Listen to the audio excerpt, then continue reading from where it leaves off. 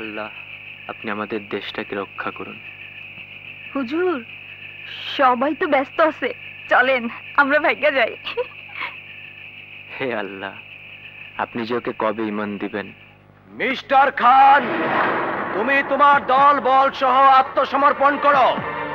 Police তোমার এলাকা ঘিরে ফেলেছে। পালাবার কোনো পথ নেই। মিস্টার খান তুমি তোমার দল বল সহ আত্মসমর্পণ করো।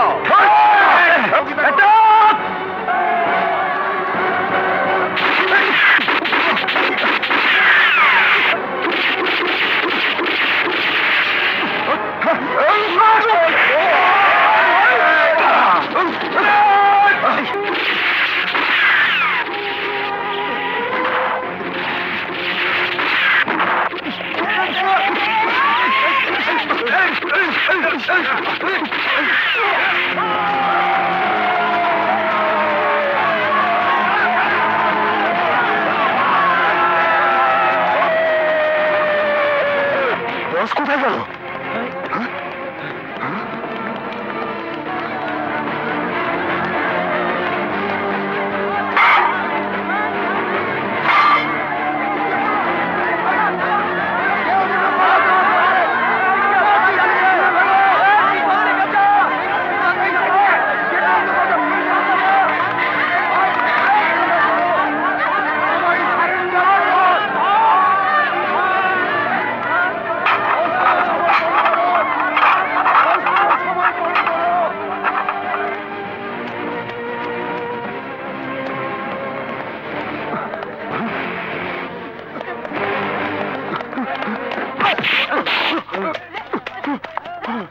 খান কোথায়?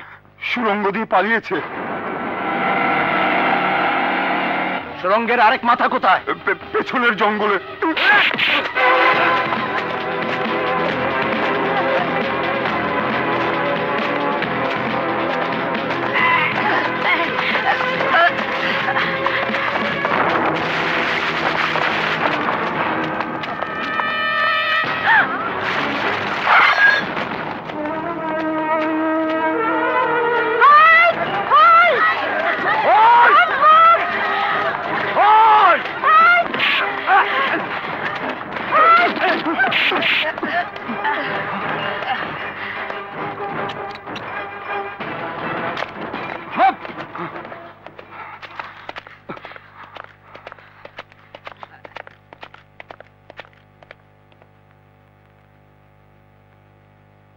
মালিক আপনার দরবারে শুক্রিয়া।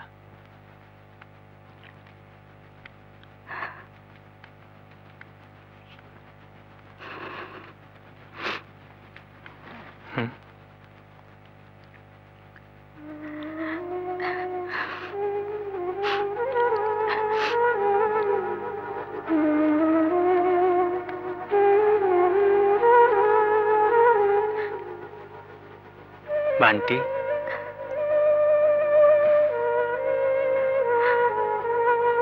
বান্টি। আপনি কোথায় যাচ্ছিলেন? জানি না। জানি না মানে? জানি না মানে জানি না। এই বিষয়টার সাথে জড়ানোর পর থেকে আমার জীবনটা তছনছ হয়ে গেছে বান্টি। এখন নতুন করে ভাবতে হবে কি করব? আমাকে নিয়ে আপনার কোনো ভাবনা নেই? তোমাকে নিয়ে কি ভাবনা? ভাবনা ছাড়াই যদি চলে যেতে চান তাহলে আমি আপনার জন্য যা করেছি তার দাম দিয়ে যান। মানে? মানে হচ্ছে আপনি একজন ধার্মিক মানুষ না। অন্যের কাছে ঋণ রেখে গেলে আপনি তো আবার বেহেশতে যেতে পারবেন না। বিনা অপরাধে আপনি আমার গায়ে হাত তুলেছেন। তার জন্য মাফও চেয়েছেন কিন্তু আমি আপনাকে এখনও মাফ করিনি। তাছাড়া যেদিন আপনি এ মামলার সাক্ষী হয়েছেন সেদিন থেকে আমি আপনার জন্য চিন্তা করে আমার মাথা নষ্ট করেছি। ট্রেনিং শেষ করে কত কাঠ খড় পুড়িয়ে, কত মুরব্বি ধরে যে থানায় আপনার মামলা, সেই থানায় জয়েন করেছি। আপনাকে সেভ করার জন্য আমি একটা ভয়ঙ্কর গ্রুপের বিরুদ্ধে দাঁড়িয়ে প্রতি মুহূর্তে মৃত্যুর ঝুঁকি বহন করেছি। শুধু শুধু আমি জানি কত হুমকি এসেছে আমাকে সরে দাঁড়াবার জন্য। তবু আপনাকে সেভ করার জন্য আমি সন্ত্রাসীদের হাতে আহত হয়েছি। এত কিছু করেছি আপনার জন্য। তার দাম না দিয়ে চলে যাবেন? আমি জানি তুমি কি বলতে চাও। আমিও যদি বলি তোমার জন্য আমার কোনো টান তৈরি হয়নি, তাহলে মিথ্যে বলা হবে। কিন্তু তোমার, আমার জীবন প্রণালী সম্পূর্ণ আলাদা। আমার জীবনে যেই আসুক, তাকে পুরোপুরি আমার মতো হয়েই আসতে হবে। তুমি কি পারবে? বলো পারবে? বলো পারবে?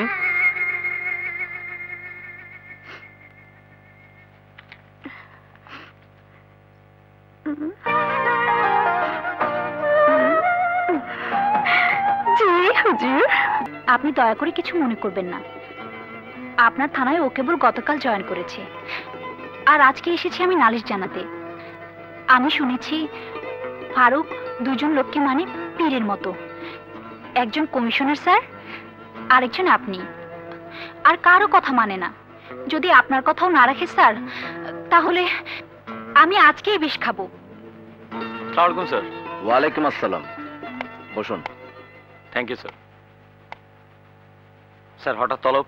আপনার বিরুদ্ধে একটা কঠিন অভিযোগ আছে। নারী নির্যাতনের অভিযোগ।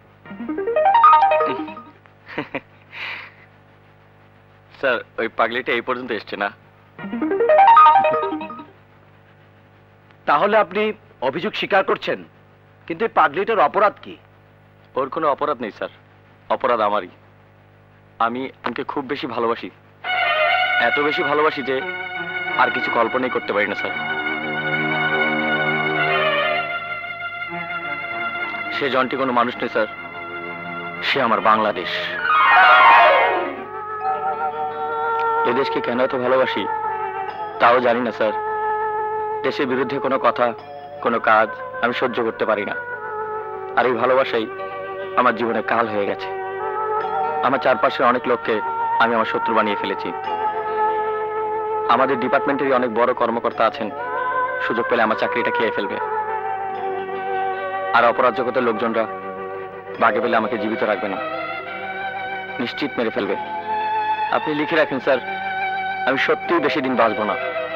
কারণ ইতিমধ্যে সবাই জেনে গেছে যে আমি কাউকেই ছাড়বো না। আর সুযোগ পেলে ওরাও আমাকে ছাড়বে না। স্যার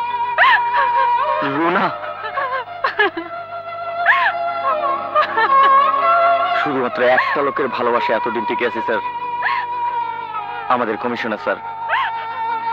এই পাগলিটা তো বোঝে না। আমার দ্বারা কিচ্ছু হবে না। আমার গাড়ি হবে না, বাড়ি হবে না, আমার সংসারও হবে না। শুধু শুধু এই স্বর্ণ ছাড়া জীবনটার সাথে ওকে জড়ানোর কোনো অর্থ হয় না, স্যার। ওকে তো আপনি ভালোভাবে জানেন না, স্যার।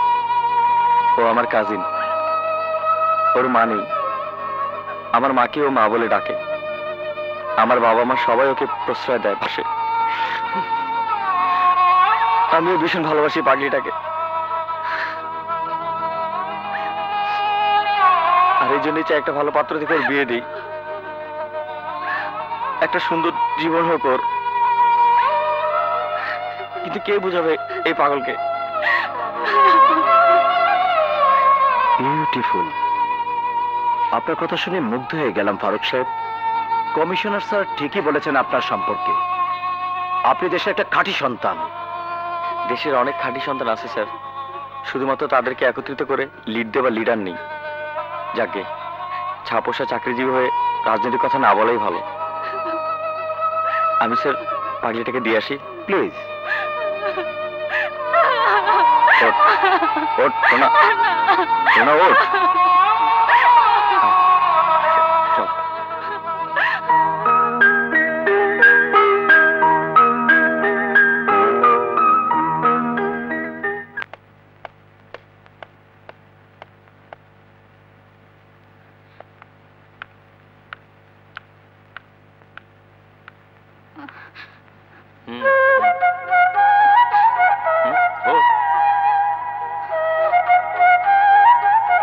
বাসায় যাব না। কোথায় যাবি? বুড়িগঙ্গার পাড়ে যাব। বুড়িগঙ্গার পারে কেন? আমি নদীর ধারে অনেকক্ষণ দাঁড়িয়ে থাকব। জলের সাথে কথা বলব। বুঝেছি তোর মন খারাপ। চল তোকে নিয়ে আজকে সারাদিন ঘুরবো। ওঠ।